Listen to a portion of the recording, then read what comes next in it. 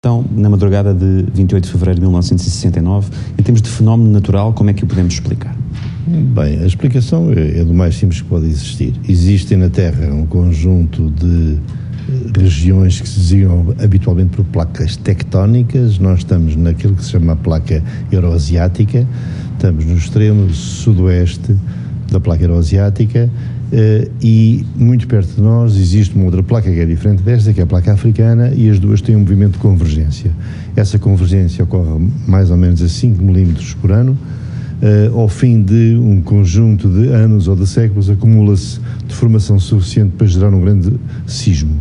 Portanto, em 69 o que aconteceu é que nós temos um dos sismos de magnitude elevada da história da sismologia experimental em Portugal, teve uma magnitude de 8, o que é bastante. Ele foi localizado a cerca de 300 km a sudoeste de Lisboa, o que significa que eh, a sua influência se exerceu essencialmente no Algarve, na costa vicentina, até à região norte de Lisboa, eh, e a energia libertada uh, gerou ainda um tsunami que afetou praticamente toda a costa, que foi medido desde a Inglaterra até às Canárias, até aos Açores, mas que felizmente foi durante a noite e, portanto, acabou por ter um efeito menor do que poderia ser, ter tido. Na qualidade de, de, cidadão, de jovem na altura, uh, o que é que se lembra? Bem, vamos lá ver. Eu agora penso que era um jovem adolescente. Eu, na altura pensava que era um homem, como é evidente, estava no sétimo ano de liceu. Que já sabia tudo. Pensava que era um adulto e já sabia tudo.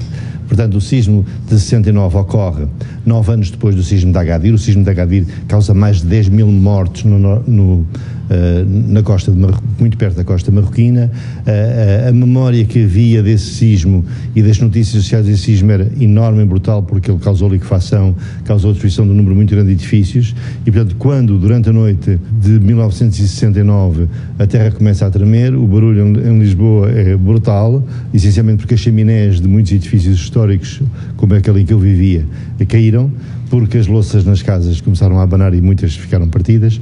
Isso faz um barulho enorme que se propaga pelas ruas e uma boa parte da população, eh, em, particular eu, desceu à rua para se, para se, colocar longe dos edifícios, porque era, digamos, o conhecimento que tinha do que era necessário fazer no caso de um sismo grande que atingisse Lisboa. Obviamente que são situações que não se podem prever, como já disse, mas de alguma forma controlá-las, fazer com que elas tenham o menor número de, de, de danos possível. O que é que tem sido feito ao longo destes anos todos nesse sentido? Bem, existem, eu diria, várias componentes que convergem para esse resultado. A primeira componente é conhecimento. O conhecimento aumentou muito. Aumentou muito porque nós temos hoje capacidade de monitorização que não se compara com o passado. Uh, basta eu dar-vos uma ideia. O sismo foi, em 1969, o primeiro estudo que eu posso considerar bastante extensivo do sismo é o estudo feito por Foucault, é feito quatro anos depois. Nós agora, eu diria, que um mês depois de um grande sismo já existem inúmeros trabalhos feitos sobre cada acontecimento. A rede sismológica portuguesa era ainda bastante incipiente e é a partir do sismo de 1969 que ela se começa a desenvolver. A segunda questão que concorre para é a construção. Portugal tem normas de construção que são bastante exigentes, mas na verdade o enforcement que existiu durante o século XX para que a construção seguisse essas normas não foi suficientemente rígida, em particular uh, vá lá, nas, nos dois primeiros terços do século. Uh, isso leva a que nós temos algumas fragilidades estruturais da construção, que é que urge uh, colmatar, acompanhar, reduzir, mitigar, e esse é o trabalho que os engenheiros civis têm feito um enorme esforço em Portugal, uh, francamente com muito pouco eco na sociedade civil e, e na governação.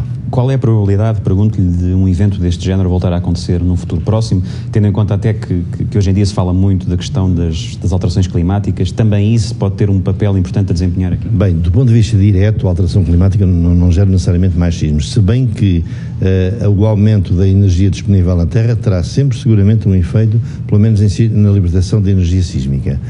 Nós tivemos no século XX três acontecimentos entre os Açores e, e o continente, cuja magnitude se aproxima de 8. Foi em 1941, 1975 e 1969 desculpem a alteração da ordem.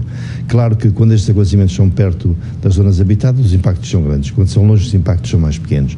Portanto, a hipótese de nós termos outro grande acontecimento de magnitude 8 é, é significativa. Nesta região é claramente significativa.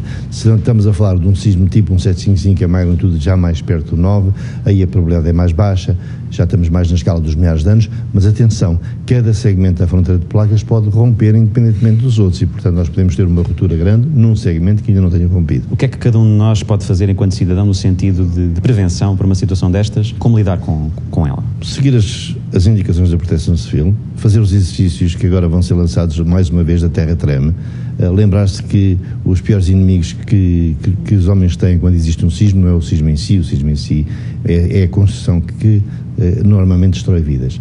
E, portanto, é preciso um cumprimento rigoroso das das normas que estão, que estão fixadas, é preciso que haja poucos obstáculos dentro das casas, é preciso que haja um mínimo de condições para que, em caso de, de acontecer um acontecimento destes, nós temos capacidade de garantir que os, os impactos são muito reduzidos.